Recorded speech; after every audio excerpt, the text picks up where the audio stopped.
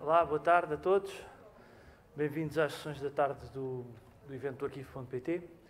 Um, esta primeira sessão vai, vai ser acerca de um projeto que foi o projeto Investiga 21. Portanto, basicamente, o objetivo deste projeto foi fomentar a investigação utilizando o arquivo.pt e nós financiámos três projetos que foram levados a cabo por três pessoas que hoje vão falar acerca do que é que fizeram. Eu pessoalmente devo dizer que fiquei muito satisfeito com o resultado deste projeto, destes três projetos, que foram projetos de curta duração, três meses, em que os investigadores que vinham de áreas completamente diferentes tiveram que entrar neste mundo dos arquivos da web, perceber como é que o arquivo.pt funcionava e criar uh, algo novo, algum conhecimento novo em relação ao, ao, ao, ao que sabia, ao estado da arte. E, portanto, sem, sem ocupar mais tempo, Vou dar agora a, palavra ao Diogo Cunha, que vai falar acerca das transformações dos websites dos jornais portugueses.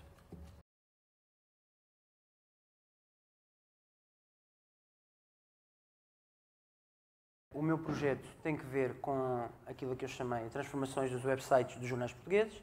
Aqui para esta apresentação mudei ligeiramente o título e falei da presença dos jornais portugueses na web. Uh, Foca-se uh, especificamente em quatro jornais, no Correio da Manhã, no Diário de Notícias, no Expresso e no Público, e num intervalo de tempo concreto entre 96 e 2016, portanto, aproximadamente os últimos uh, 20 anos.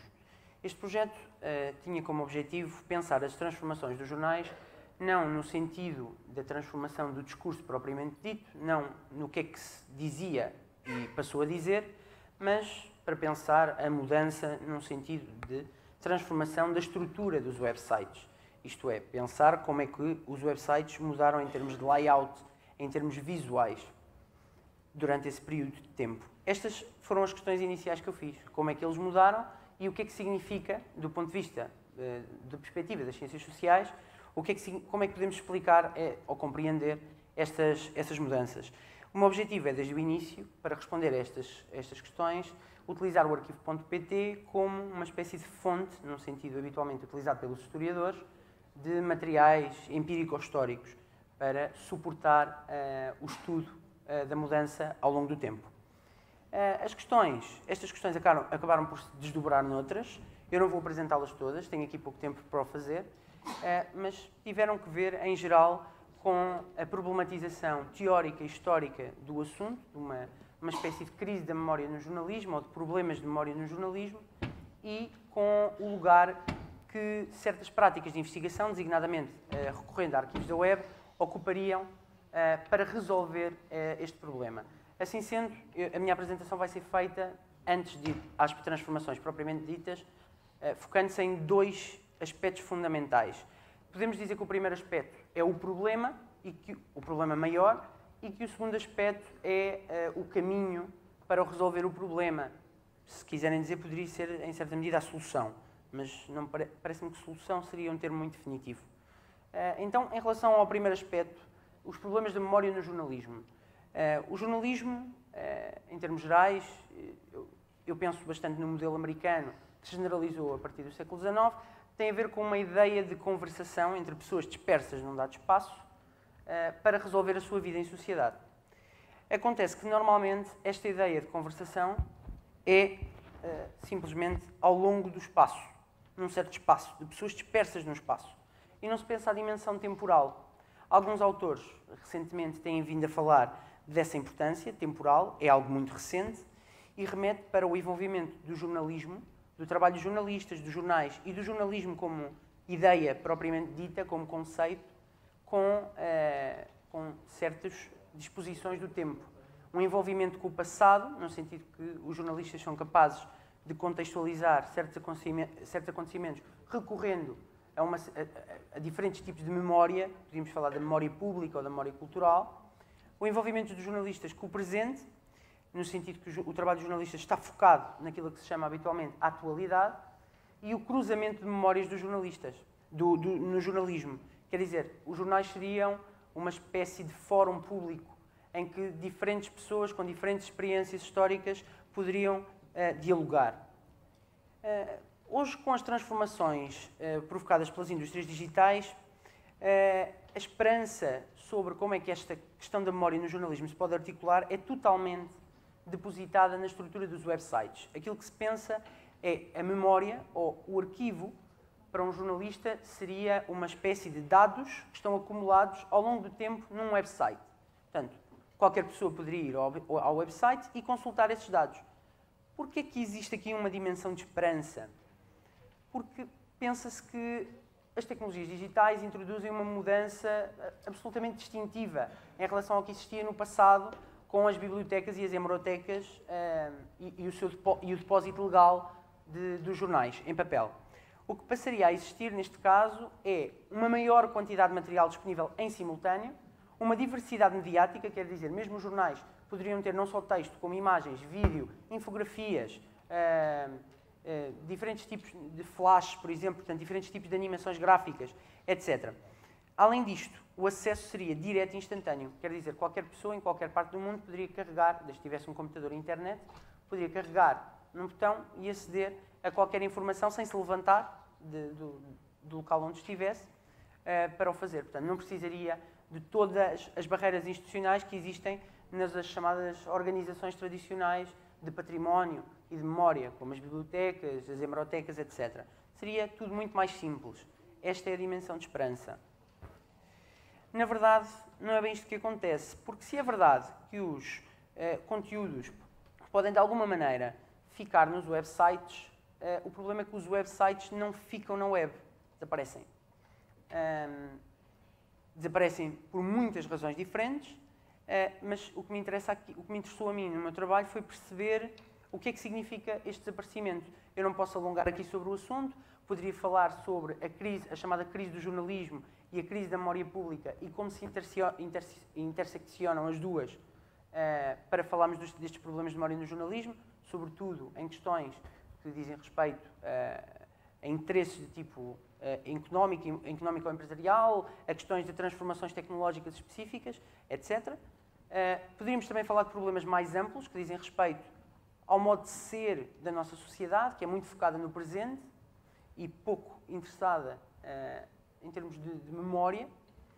Mas interessar-me falar aqui mais de problemas concretos da memória no jornalismo, sobretudo este último. O primeiro, da divisão social do trabalho, tem que ver com a ideia de que os jornalistas são trabalhadores do presente.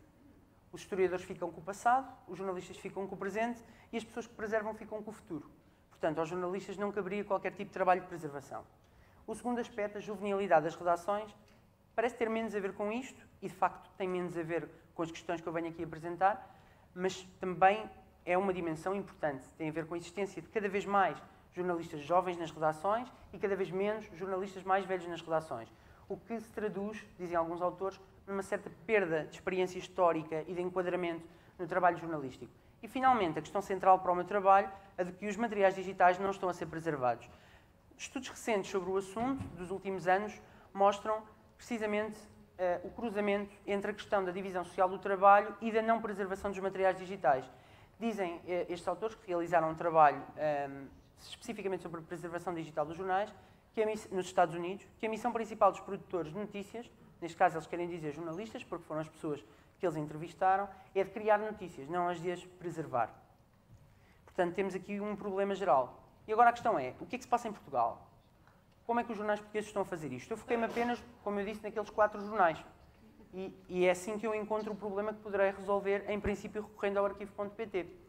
O que acontece nos quatro jornais uh, que eu estudei é que uh, os websites, em geral, têm muitos problemas de arquivabilidade, que se traduzem em problemas de preservação, porque não se conseguem uh, recolher todos os dados desses jornais, problemas que estão aí mencionados, links inválidos, bloqueios de software de recolha, imagens e ficheiros remotos. Uh, estão ainda muito presos a uma ideia de arquivo ligada à reprodução daquilo que está em papel. Este ponto liga-se ao que está em último lugar, que há um grande desconhecimento da preservação digital e que, sobretudo, se pensa ao nível dos conteúdos. Quer dizer, quando o jornal português, foi aquilo que eu investiguei, destes quatro jornais, pensa em, em, preservar um conteúdo digital ou pensa em preservar alguma coisa de um site, ele pensa apenas numa entrevista em particular, num artigo em particular, numa reportagem em particular e o conteúdo pode ser guardado num ficheiro, num documento Word, por exemplo. Para eles é um bocado indiferente, porque o que importaria era o conteúdo. Portanto, tudo aquilo que diz respeito ao contexto em que vive esse conteúdo, toda a ecologia informacional fica perdida. Uh, além disto, os jornais e as empresas de média uh, dispõem de facto de alguns recursos organizacionais, centros de, de, arqui, centros de, de, de recolha dos seus materiais, portanto, têm arquivos próprio, próprios e centros de documentação, só que esses arquivos não estão vocacionados para preservar material digital.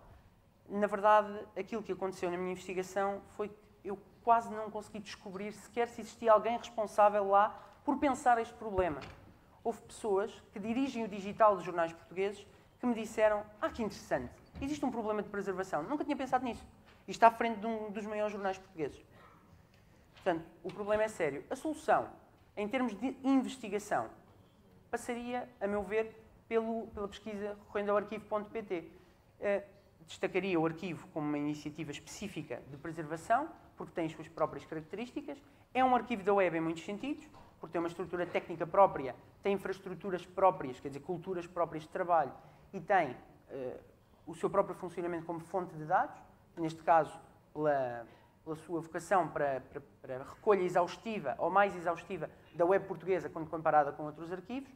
E também importa o facto, eu utilizo aqui a expressão do, do Niels Brugger, que é um especialista da área da preservação digital, sobre é, a expressão de materiais renascidos digitais, quer dizer, materiais que, são nativos digitais, criados para o digital, e que os arquivos da web, da web conseguem voltar a reproduzir depois de estarem offline ou depois de não estarem online com as mesmas características que, de que dispunham antes.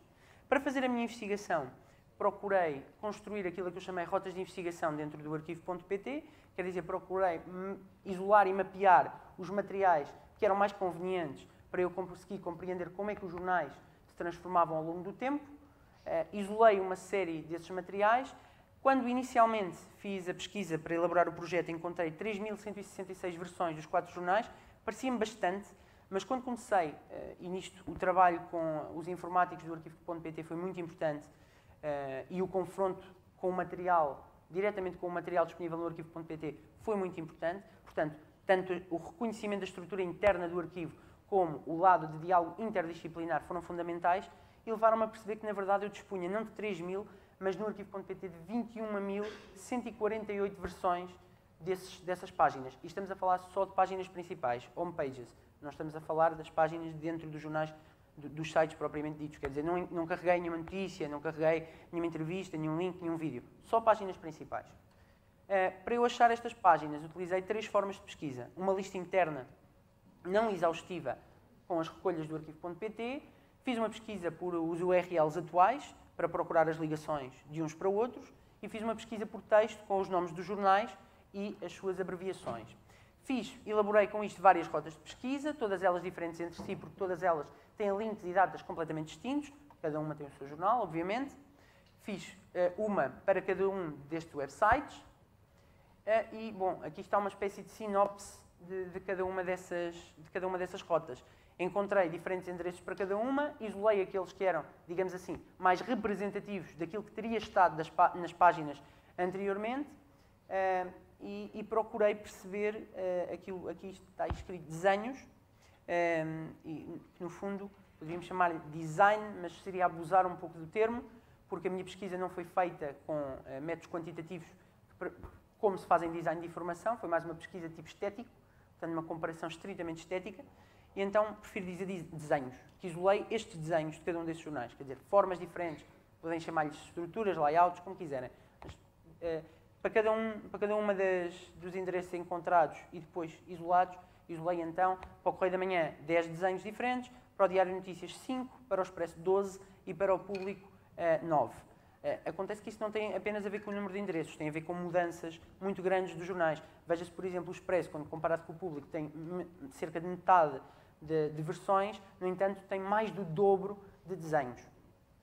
Agora, eh, gostaria de apresentar as grandes tendências de transformação que eu eh, descobri eh, nestes, nas, nos websites dos jornais portugueses. A primeira tendência.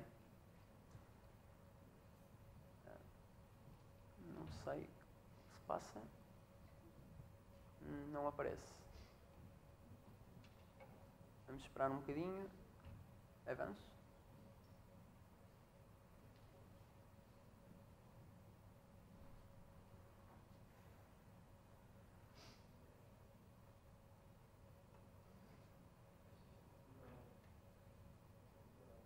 Okay. Pois, não sei o que é que se passa. Onde é que está o último? Não está? Ok, muito bem. Então terei de concluir. Então pode abrir na mesma, se faz favor. Obrigado. Parece que há aqui um problema com o ficheiro. Não há problema. Eu vou então fazer eh, a síntese das tendências, sem estar aqui escrito. Vou só para a página da síntese. Bom, uh, as tendências têm sobretudo a ver com uma cada vez maior, infelizmente não estão as imagens pelos vistos, uh, mas tem, tem a ver sobretudo com uma maior verticalidade dos websites. Quando aparecem os websites dos jornais, eles estão sobretudo pensados para uma uh, navegação horizontal e pouco a pouco vão se tornando muito verticalizados. Essa verticalização tem uma expressão concreta no surgimento de barras de scroll longas uh, nas páginas. E quando eu digo longas, estamos a falar num aumento em termos de pixels tremendo uh, das páginas, portanto, são cada vez maiores, cada vez mais verticalizadas. Uh, no entanto, no interior de, das páginas, que são verticalizadas, aparecem diferentes tendências de orientação. Quer dizer, aparecem, por exemplo, galerias de imagens, galerias de conteúdos, que podem ser navegadas numa espécie de microestruturas horizontais dentro daquilo que é a estrutura vertical de um site. Para além disto, surgem também, algo que eu dei, dei bastante importância no meu trabalho, surgem também uh, logótipos e no, nos próprios. Isto, isto pode observar-se logo nos endereços, uh, que associam uh, as empresas de jornalismo a empresas de audiovisual e de telecomunicações. Temos aqui o caso do Expresso com, com a Clix, com a IOU e depois com a SAP. E isto é visível do ponto de vista da, da estrutura dos, dos websites, porque vemos, por exemplo, quando existe cliques, uh, a parte de pesquisa, a barra de pesquisa do website do Expresso, não só tem lá o símbolo da cliques, como é cor-de-rosa, em conformidade com o símbolo da cliques. Quando é SAP, a barra passa a ser verde, em conformidade com o símbolo da SAP, além de ter o símbolo da SAP. E além de estarem expressos em todo... Expresso foi uma péssima palavra agora, não é? Uh, além de estarem também uh, em todos estes jornais, exceto no Correio da Manhã, que é um caso diferente, uh, que tem apenas o, aqui o XL, que, é, que, que, remete para a Cofina, que é a empresa proprietária, mas todos os outros têm, de facto, esta manifestação uh, associada a empresas de audiovisual e de, e de telecomunicações. Uh, em termos conclusivos, uh, depois poderemos falar um bocadinho, se estiverem interessados em discutir o assunto, é importante, de facto, perceber que os arquivos da web são uma ferramenta interessante para serem utilizadas e pensadas, problematizadas pelos cientistas sociais, portanto, parece necessário abrir, abrir um espaço para discussão metodológica e epistemológica, quer dizer, da ordem do conhecimento e de como chegamos a esse conhecimento nas ciências sociais e humanas, sobretudo em áreas que estão uh, ligadas ao digital, mas não só, poderá interessar, ou, ou, pelo menos áreas que aparentemente não estão ligadas ao digital podem ter interesse, como seria, por exemplo, a história medieval, uh, podem ter grande interesse no, no uso destes, destes arquivos. Uh, para além disto, eh, em relação às descobertas específicas, parece-me importante sublinhar que eh, é a primeira vez em Portugal que um estudo pôde demonstrar estas transformações, porque antes não existia, antes de ser utilizado o arquivo.pt, não existia uma fonte destes dados. Portanto, estes estudos eram feitos de maneira mais ou menos avulsa. Alguém, em 1997, poderia ter feito um registro de qualquer coisa que existia na altura, e em 2000 podia-se fazer uma pequena comparação uh, em termos da opinião de alguém ou daquilo que alguém disse sobre o assunto. Agora pode ver-se o que se fez, o que é completamente distinto. Pronto, em termos gerais, se calhar agora, como não tenho as imagens, vou ficar por aqui. Obrigado.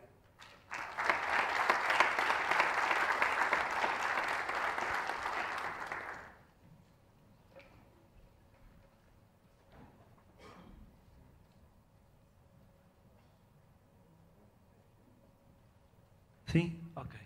Pronto, muito obrigado, Diogo.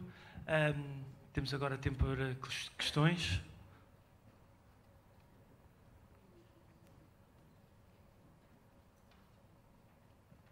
Então posso fazer uma questão. Oh, Diogo, isto parece que por um lado temos informação a menos, porque não temos as, as páginas todas dos jornais e, no, e, muitas páginas não estão completas, do ponto de vista uh, de completude, né? de, de ter todas as imagens. Eh, e todos os conteúdos, mas por outro lado parece que temos informação uh, a mais. Ou seja, temos milhares de, de, de, páginas, milhares de versões. Como é que se gera esta dicotomia? Isso é, é, algo que costuma acontecer não só no jornalismo, mas quando olhamos para a bibliografia de estudos sobre de usos, casos de uso ou casos de estudo recorrendo a arquivos da web, é uma queixa recorrente. Muitos autores falam nisso, de que para legitimar no fundo o uso dos arquivos da web, dizemos que há poucas coisas a serem preservadas, mas depois quando nos confrontamos com os arquivos da web, percebemos que há lá tantas coisas, não sabemos o que é que havemos de fazer com aquilo, não é? A meu ver, uh, e, recorrendo às leituras que fiz sobre arquivos da web e as questões metodológicas relacionadas com os arquivos da web, o fundamental é selecionar critérios, estabelecer critérios para conseguir uh, selecionar o material. Critérios que, para já, devem ser fixos para cada, para cada trabalho. Eu falei há pouco do conceito de rota de investigação, foi isso que eu tentei fazer. Construir uma espécie de rota, não é? é analogia com a ideia de navegação na internet, tentei fazer isso dentro do arquivo, uma espécie de rota, um caminho específico dentro do arquivo. A meu ver, essa pode ser uma das formas de, de contornar os problemas da seleção de material. Também é importante um outro lado. Eu não falei na existência de materiais, por exemplo, repetidos, ou de, ou, ou de materiais uh, que, que aparentemente podem ser repetidos, porque há recolhas de várias horas do mesmo dia. O importante aí, o Niels Brugger, que eu falei há pouco, fala da filologia da web e ele procura precisamente dizer que, em contraponto com este conceito que eu proponho de rota de investigação, que é uma coisa pensada no tempo, ele pensa mais na comparação entre páginas que dizem respeito ao mesmo dia. E o que ele diz é que devemos estabelecer um índice através da comparação entre essas páginas. Ou seja, devemos, como faziam os filólogos, devemos colocar lado a lado as diferentes publicações que dizem respeito, que estão temporalmente ancoradas de forma idêntica, não é? que têm a mesma data, tem a mesma hora aproximadamente, e perceber qual é a melhor.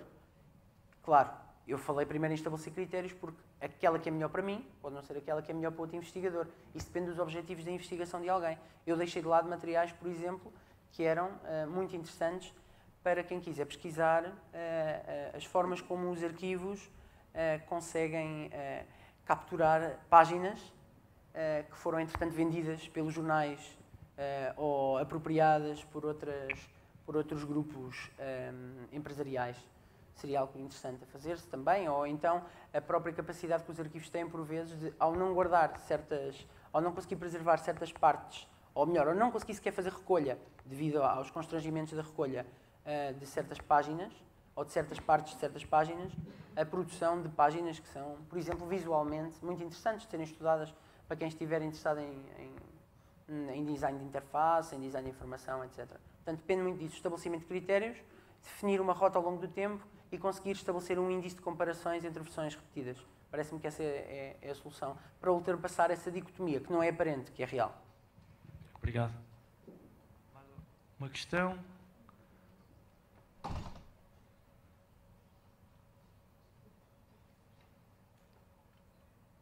Ah, tenho vergonha de fazer perguntas. Já está aqui uma pergunta Diana. Só um bocadinho, já chego.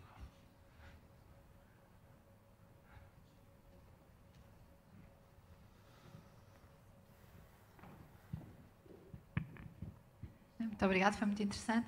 Eu fiquei curiosa de saber se, se uh, as tendências que encontrou foram paralelas em todos os jornais, ou seja, é uma tendência que se pode falar de jornalismo português, ou se, pelo contrário, os, eh, os meios eram, portanto, se foi possível verificar diferentes histórias e também se houve, havia coisas como tentar e voltar atrás.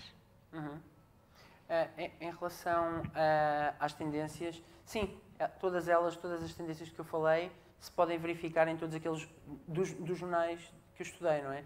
É sempre um estudo de caso, portanto, é sempre limitado àquele material que eu estudei. No entanto, eh, bom, eh, seria interessante levantar a hipótese disso caracterizar o jornalismo português e não só de poder ter de, de, cruzar isto também com investigações sobre, por exemplo, o desenvolvimento das, de outro tipo de publicações digitais. Seria interessante perceber se os jornais se modificam desta maneira porque existem tendências dentro de, do jornalismo ou se são tendências da própria web. Quer dizer, será que os blogs também têm este tipo de tendências? E, bom, a comparação entre, entre esses tipos de publicações digitais diferentes seria muito interessante e enriquecedor. Para já, com a investigação que existe sobre o assunto, posso dizer que eh, estes jornais que eu estudei, eh, o Correio da Manhã, o Diário de Notícias, o Expresso e o Público, eh, todos eles têm, uns mais do que outros, essas tendências verificam-se em todos eles. Um, a, questão de, de, que eu falei da relação com outras empresas verifica-se um pouco menos no Correio da Manhã, que está mais ligado à sua própria empresa proprietária, portanto, uh, do que nos outros jornais, em que claramente a relação é muito forte nos outros jornais.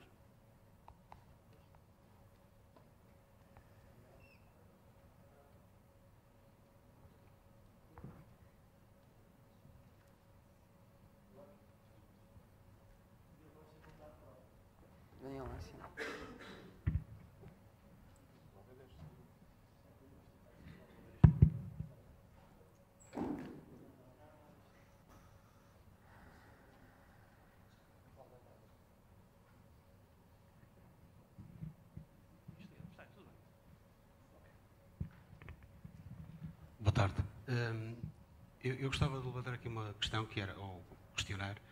Uh, uma coisa são os jornais uh, em papel e que são digitalizados, a, a, a uhum. versão deles digitalizada. Uhum. Outra coisa são as edições online, são duas coisas que uhum. são completamente diferentes uhum. nos jornais. Uh, como é que se, será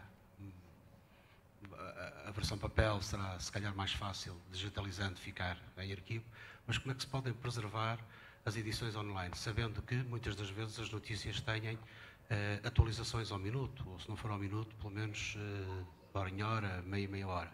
Como é que poderemos chegar a, esse, a essa solução? Ok, a, a distinção, uh, realmente, essa distinção é muito importante. Uh, em português não se dispõe de vocabulário próprio para fazer essa distinção, em inglês sim. No caso dos jornais uh, que nós dizemos em português digitalizados, o papel digitalizado em inglês chama-se digitized, enquanto digital, na, no, portanto, nas revistas de investigação sobre isto, se utiliza apenas para nativo digital, ou se utiliza mais para nativo digital. No primeiro caso, no caso em que temos jornais escritos e os digitalizamos, um, ehm, trata-se apenas um, ehm, de, uh, de, portanto, de acumular conteúdo que foi produzido por meios analógicos e, portanto, que é físico. Não é? Uh, é, é distinto. Não podemos folheá-lo da mesma maneira, não podemos rasgá-lo, não podemos queimá-lo, não podemos fazer uma série de coisas que faz parte desse conteúdo. Não, é? não podemos utilizá-lo para limpar os vidros, como muitas vezes faz com os jornais, não é? Uh, caso seja uh, digitalizado. Uh, mas podemos, de facto, guardá-lo. E, na verdade, os trabalhos mais promissores, no sentido da quantidade, no que diz respeito à preservação de, de material do jornal online, é, é nesse, vai nesse sentido. Nos Estados Unidos, por exemplo, há um grande projeto da, da Biblioteca do Congresso para digitalizar jornais, aquilo que eles chamam jornais históricos norte-americanos. E então tem jornais muito antigos, um, de, de, de, mais de 300 anos, disponíveis online para fazer uma história já com muitos anos uh, do, do, país. Uh, e é mais nesse sentido. No caso de, dos nativos digitais, o que se passa é que não há de facto muitos cuidados de preservação por parte dos próprios jornalistas, dos editores e, inclusivamente, das empresas responsáveis pela criação dos websites, por uma série de problemas, como, como eu já disse, não é, que se verificam eh, nos jornais portugueses, eh, como é a existência de imagens remotas, eh, de links que estão completamente vazios, portanto, e se não se cumpre com esses requisitos, a recolha dos materiais é mais pobre. Mas ela pode acontecer. No arquivo.pt há páginas que estão completamente intactas, com grande parte dos links, grande parte das imagens, etc. Mas têm, por exemplo, mas aquilo, buracos completamente vazios, onde se lê não arquivado. Uh, e depois, bom, há diferentes uh, uh, razões técnicas para não existir esse arquivamento. uma das razões é, por exemplo, a obsolescência de certos softwares. É o caso do Flash, por exemplo. As apresentações Flash têm alguns problemas na preservação. No entanto, existem uh, alternativas tecnológicas para conseguir recuperar esses dados. Como, ou seja, pode utilizar-se o arquivo.pt, por exemplo, ou o Internet Archive, se não quisermos falar do arquivo.pt ou não estivermos a falar de dados portugueses, em articulação com uh, uma web app, uma aplicação na web, não é, que faça uh, essa, essa, essa correção. E é nesse sentido que se pode pensar a preservação dos, dos, conteúdos nativos digitais propriamente ditos. É através daquilo que são as reproduções dessas páginas, como um todo. E não é isso que se está a fazer. O que se está a fazer, quando se pensa nesses conteúdos nativos digitais, é pensar guardá-los um a um num documento ou salvá-los nesse sentido. Entrevista-se alguém importante, o importante é, é, guardar essas palavras. Não é guardar todo o contexto informacional em que elas surgem e são apresentadas e vendidas a um público. Portanto, perde-se uma dimensão muito importante da história, porque é, é diferente, como nós sabemos hoje, ler um jornal do, do século XIX, ler um jornal do século XX e ler um jornal do século XXI. Corremos o risco de, em 2018, não sabermos, ou algumas pessoas mais jovens não saberem como é que era ler um jornal em 2000 na internet, porque não há dados para o perceber. Espero ter respondido à pergunta. Ok, claro. Uhum. Micro. posso falar um bocadinho mais alto? Não, não, micro mesmo. Micro por causa da captação.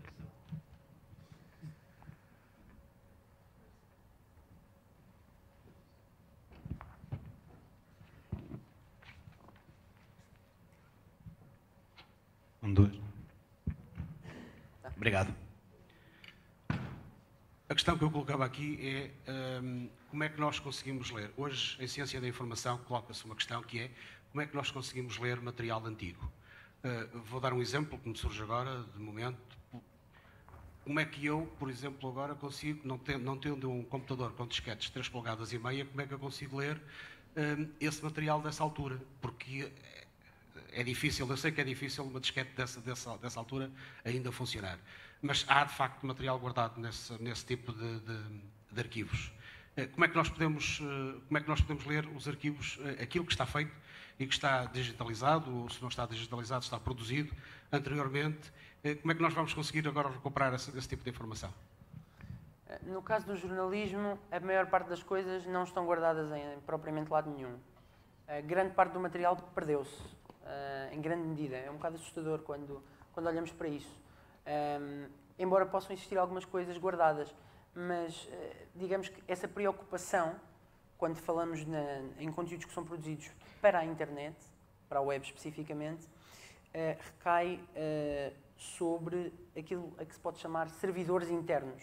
Quer dizer, eles de alguma maneira têm de facto tecnologias que guardam isso. Agora, o facto dessas tecnologias se tornarem obsoletas se traduzir em problemas depois de, de preservar esse material, quer dizer, isso aumenta ainda mais a necessidade de recorrer a este tipo de arquivos, não é? Que, em princípio não se tornarão obsoletos porque estão em, em atualização constante e procuram acompanhar a atualização tecnológica constante. O arquivo.pt será, portanto, uma solução no futuro para ler este tipo de, de, de arquivo? Se, eles, se esses materiais forem digitalizados, sim. Uh, se não forem, eu, eu creio que alguns deles estão mesmo perdidos. Uh, posso dar um exemplo muito brevemente, já passei do tempo.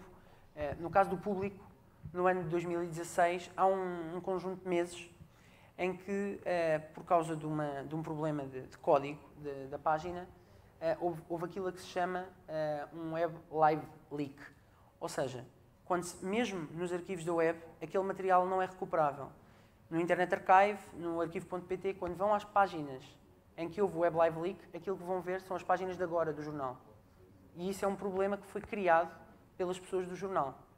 Alguém que não sabia o que estava a fazer, pôs uma linha de código errada e fez com que se criasse este tipo de problema, que pode ser contornado se começarmos a discutir estas coisas com seriedade, do arquivamento da web, eh, da preservação digital uh, e de, da curadoria da informação, uma coisa que já acontece sobretudo nos Estados Unidos, já há centros de jornalismo e arquivos de jornalismo a trabalhar em cooperação com o Internet Archive, se calhar uma boa solução para isso é que começamos a pensar em cooperar com o arquivo.pt e as pessoas que disponham dessas disquetes, desses servidores em algum formato, antes de que caia um copo de água por cima desses servidores, antes de que caiam ao chão e se estraguem, os deem às pessoas do arquivo.pt para poderem ser preservados, na medida em que poderão ser, claro.